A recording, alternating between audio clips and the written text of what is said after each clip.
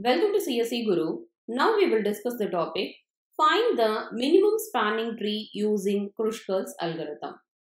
So this is the given graph. For this given graph, we need to find the minimum spanning tree using Kruskal's algorithm. So before entering into the problem, we should know two concepts.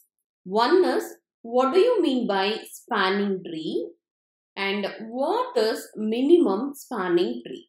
So spanning tree is nothing but it is a connected acyclic subgraph. That is, it should include all the vertices of the given graph. All the vertices are connected, but it should not form a cycle. That is nothing but the spanning tree. So minimum spanning tree is nothing but if you find a spanning tree and add its cost, we will get the total cost. This total cost is nothing but the minimum spanning tree cost. So now we are going to find the spanning tree and minimum spanning tree using Kruskal's algorithm.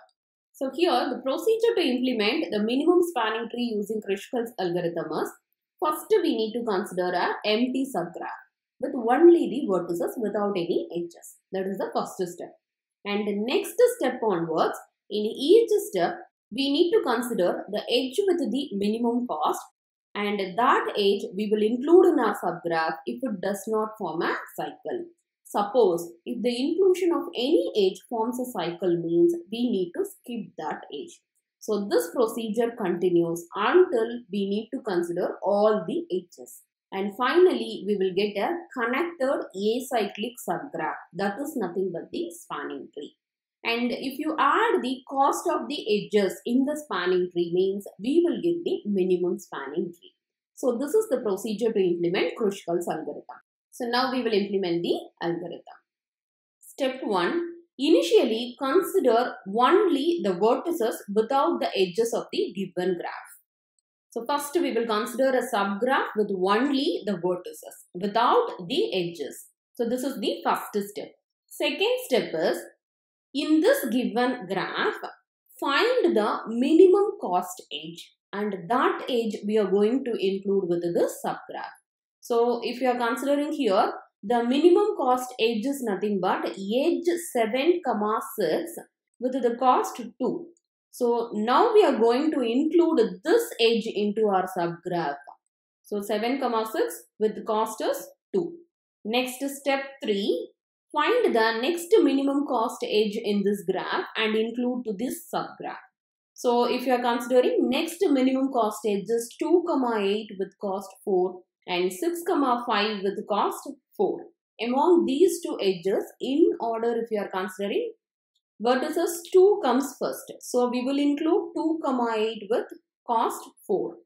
And step 4 if you are considering, the next minimum cost edge. So that is nothing but 5 comma 6 with 4.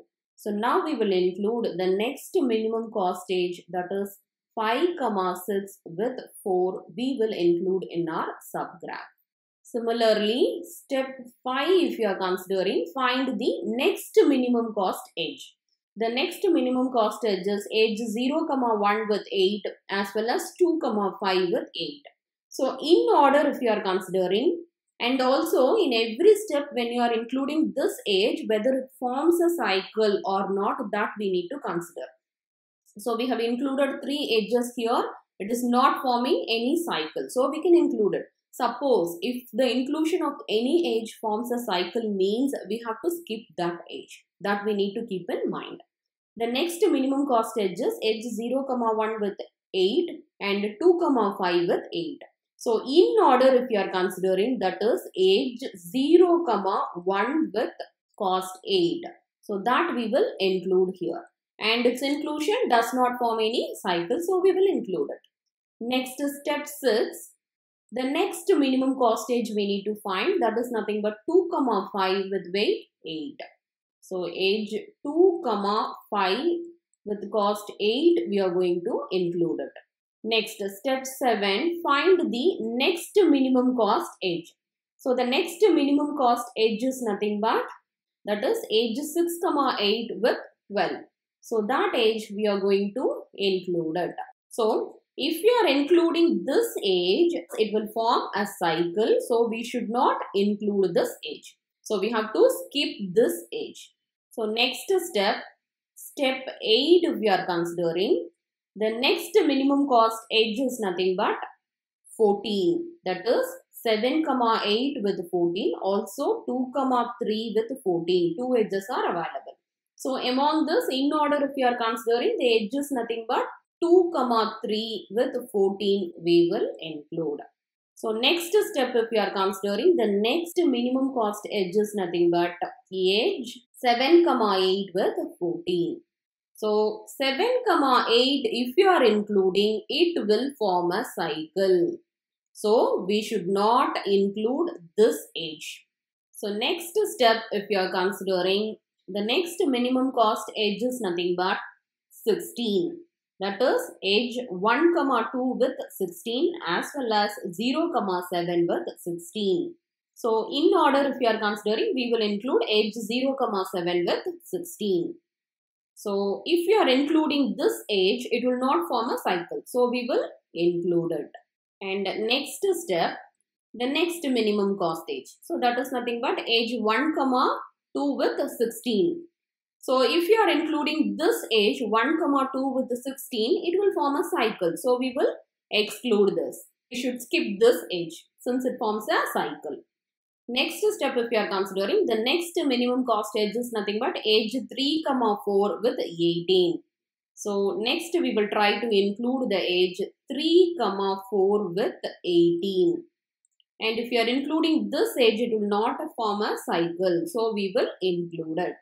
The next minimum cost edge is 20. 4 comma 5 with 20. So if you are including this edge, it will form a cycle. So we will skip this edge also. And the next minimum cost edge is 1 comma 7 with cost 22. And if you are including this edge also, it will form a cycle. So we will exclude this also. And the next minimum cost edge if you are considering that is edge 3 comma 5 with 28. And if you are including this edge 3 comma 5 with 28, it will also form a cycle. So we will exclude this. So now we have considered all the edges and we have included those edges that does not form any cycle. And we have excluded and skipped the edges that forms a cycle. So now the algorithm completes.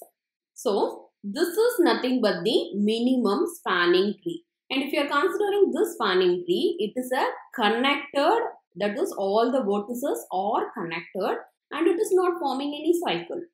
So this is nothing but the spanning tree. And if you find the total cost of this spanning tree, that is nothing but the minimum spanning tree.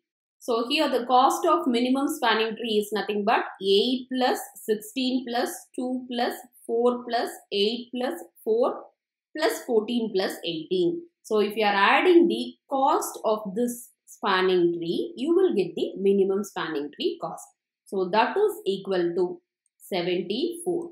So the total cost of this minimum spanning tree is 74.